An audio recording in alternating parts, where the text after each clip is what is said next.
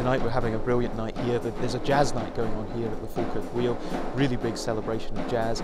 And there's a big crowd, they're really enjoying the music, and what a brilliant venue to come out and enjoy, and to see the Falkirk Wheel at night lit up like it is behind us.